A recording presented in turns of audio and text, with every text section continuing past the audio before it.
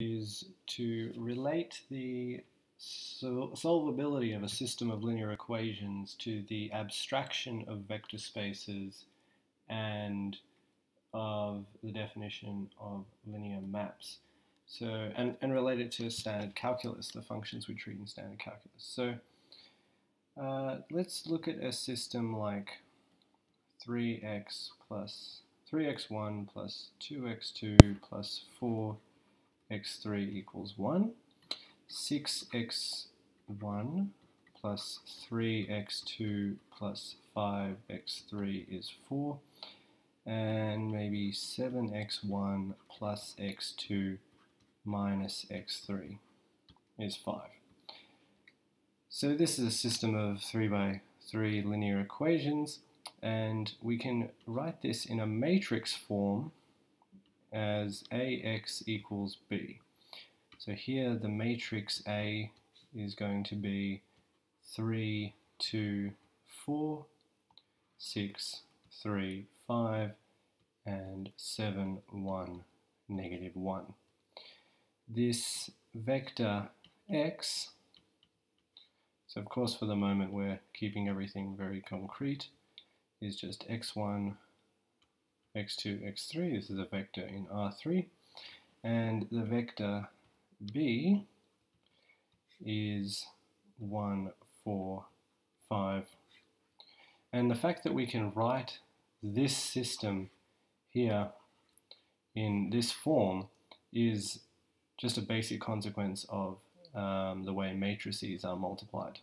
Remember, we go across and then down. So let's let's think about the, the relation of this to normal calculus. Remember that in calculus we tend to look at functions from the real line to the real line. Abstractly, you can just maybe write it in this sense, but a little more concretely, what we have is typically a function whose domain is the real line, let's say, and whose codomain is the real line, and it's given by some formula. Maybe it's a, maybe it's a quadratic polynomial, and we know that here we have the y-axis, which, which is really just a copy of the real line, and here we have the x-axis, which is just another copy of the real line. And this is just a geometric way of representing the way in which this function maps this axis here, this copy of the real line, onto another copy of the real line, namely this one. Okay, so we understand this, we understand this very well. So let's see what's going on when we, when we look at this, how we can relate it to some type of map. The way to think about it will be that the matrices are the maps when we write them down. So matrices and this is actually, this can be made very precise. Uh, matrices are linear maps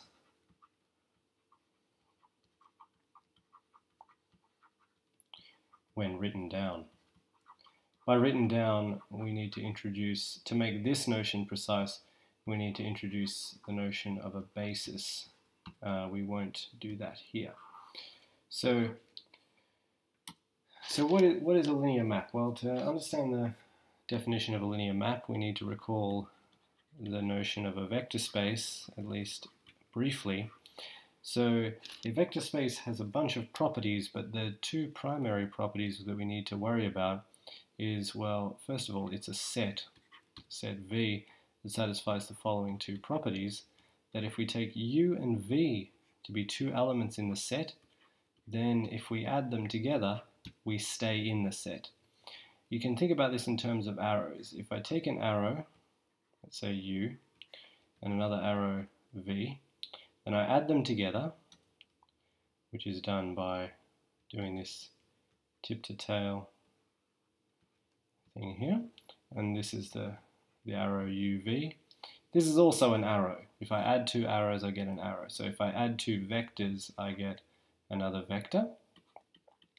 And the second one is that if u is in V and lambda is in R, so this is the definition of a real vector space, then this implies that lambda times u is also in V. So if I take a vector, a, a vector u, and I scale it, maybe double it, I also get another vector.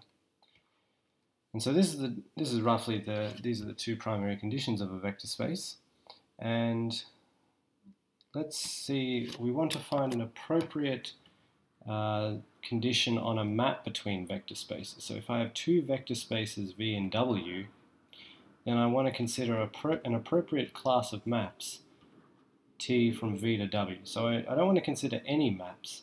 For example, let's say I tried T of x is x squared, like our quadratic example up here. Well, let's give it a go.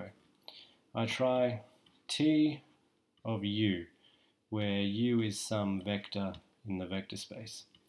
Well, now I need to know what u squared means. Now, if u is real, so u is a real number, then I can make sense of u squared. u squared will be a real number. u squared is a real number, not in R2. And but if I take a more abstract example of a vector space, in general I cannot multiply vectors. These two conditions do not tell me how to multiply arbitrary vectors. They tell me how to scale vectors by a scalar, but not just arbitrary vectors. So, so we don't want to consider maps of this form.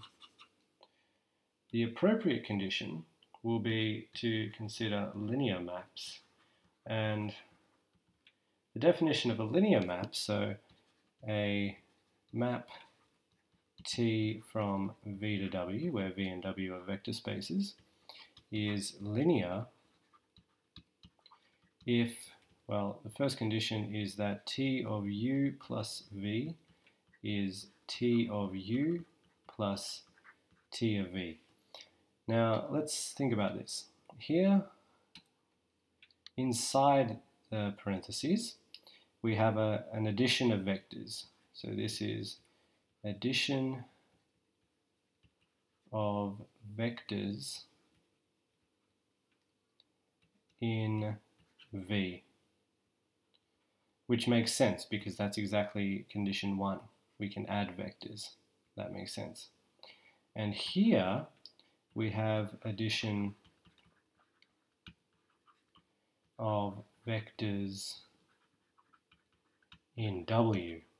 And this also makes sense because W is also a vector space. So this is a good condition. This uses the properties. This, this mimics condition 1 in the definition of a vector space. So this condition here. Now let's consider the same thing for condition 2. We want to mimic that. So we impose a second condition on the linear map. That is that t, so this is for all uv in the vector space. Now here we want to consider t of lambda v is lambda t of v. So this is for all lambda on the real line and for all v in the vector space. Again, let's check that this actually makes sense. Here we have a scaling in v, so in the vector space v. That makes sense because we're in a vector space and in a vector space we can scale vectors. Here we have a scaling in w. which also makes sense because W is a vector space and W satisfies that condition. So this is going to be the appropriate uh, definition for a linear map. Now I'm going to discuss linear maps in more detail in another tutorial, uh, but for the moment let's just see if we can relate this definition to this picture here, these linear systems. So what we will have is that, let's say I've got my vector v, let's do this in a different color. So I've got my vector space v and my vector space w. I'm just going to draw them as copies of R2. And the map T here, you can verify that the matrix A above, so the map that sends a vector x to AX is linear. So this is a, an exercise you can do. It's very easy. So we have this, this map here, a linear map. So we take a vector here, say x bar, we apply our map A, our matrix A, and we end up at, at some vector B. Now, in the case we considered earlier, we had a vector x in R3 and another vector b in R3. So here I'm looking at R2, but you can alternatively think of a picture like this.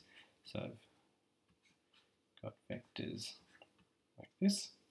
So these are two copies of R3. This would be the x bar, this would be the b bar, and have a map. So when we ask to actually solve this system ax bar equals b bar, what are we doing? Well, we we have this b bar fixed. So this vector is fixed to begin with.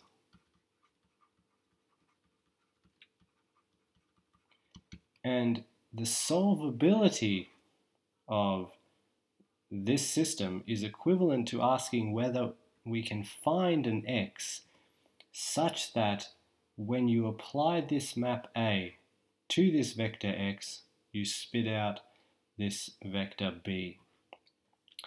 So in the more fancy language, this is what's called surjectivity. Well, it's related to surjectivity, it's not necessarily surjectivity.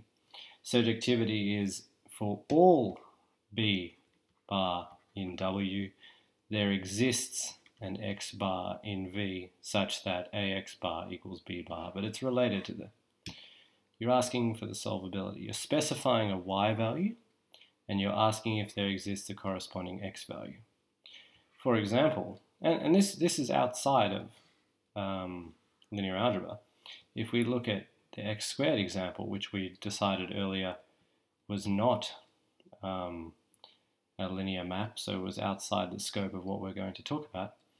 Let's say, so here we have f of x equals x squared, let's specify the y value. Let's say y equals 9. Then the system, well let's let's call this a of x to really seal it, seal the deal that this is similar to what we're talking about. Then ax equals b, we've specified b, is now ax equals 9 and we're asking for just the solution of this. So A is the same as F, and that's just plus or minus 3. It's exactly the same as what's going on here. We just need to keep track of vectors because we're dealing with multi-dimensional systems of this form. And so when we're solving equations of this form, there's inherent there's a there's inherent geometry here. And this is the geometry we're talking about here and the appropriate class of maps are linear maps, which are just a special example of the functions that you consider in calculus. In a subsequent tutorial, we'll discuss more on the definition of linear maps. I'm yet to provide any real examples of linear maps other than the matrices discussed here. Uh, and that's what we'll do in the next tutorial.